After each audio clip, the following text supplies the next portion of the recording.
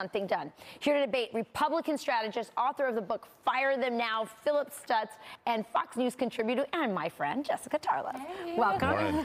okay, so we'll start with you, Jessica. Obama. Uh, was offering a temporary status, right. um, and it was un an unconstitutional um, uh, uh, uh, offering that he was. He was so some say, yeah. Yes.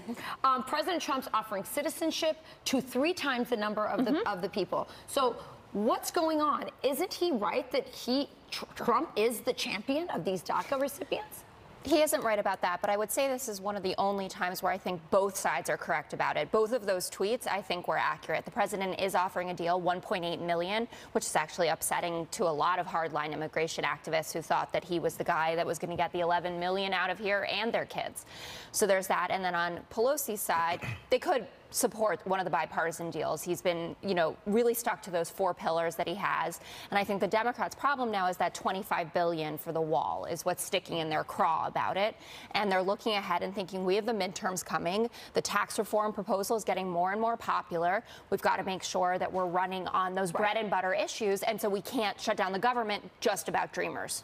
So that's interesting because what I'm hearing from you, and you can answer sure. this, Phillip, is that the the Democrats maybe hate the wall and hate border security more than they want to help the DACA recipients. Right, is that correct? And, right, and what you've seen is so the Democrats sort of abandoned DACA over the last week because of the whole gun uh, gun debate, right? And here's the thing: the president starts everything from a negotiating position, and he, you know, had the gun debate. He actually outmaneuvered the Democrats by bringing in the families into the White House.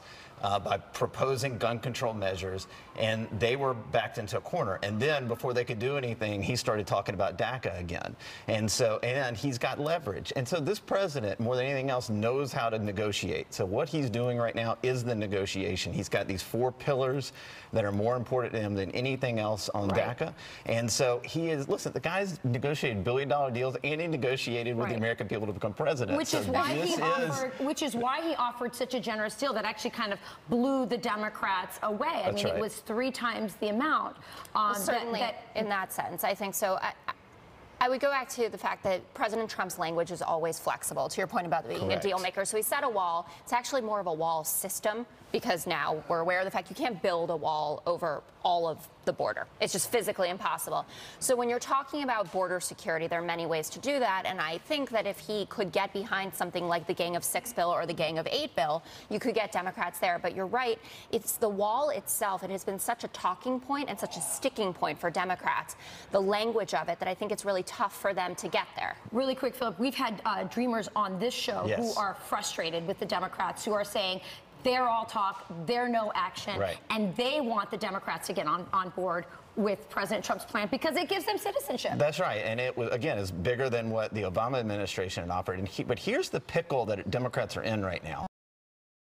Uh, we remember back in 2008 on the health care debate and how the Tea Party formed. And if the Democrats negotiate too much, if they go too far, you're going to have you know this uprising uh, on the on the left. We're already right? seeing it. I mean, right. when you look at people like Dianne Feinstein, who are getting challenged by the progressive left, and they're saying, "Oh, you know, she has a bad record, backs down to Trump." When you look at her record, not true. Um, it's already happening. Yeah, that's right. Well, we'll see what happens. Um, President Trump's definitely got a deal on the table.